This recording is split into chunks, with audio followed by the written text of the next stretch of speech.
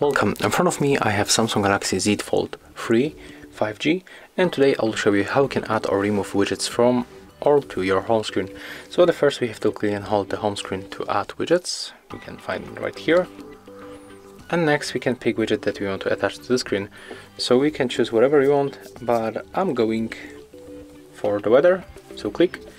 Here we got the three themes of that of the same widget. I'm going to apply this one. So click add click OK, we have to turn on location. Now just wait a little bit. As you can see, the widget is on, this, on the main screen. When you click and hold it, we are able to resize that widget. When you click and hold it, you can also move it through the screens. So for example, we can attach to the first screen.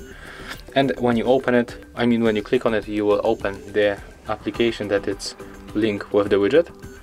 And when you click right here, we can refresh data of the widget and to, to turn it off just to remove it click hold and then tap right here. And as you can see that's how we can make it. If you find this video helpful remember to leave a like comment and subscribe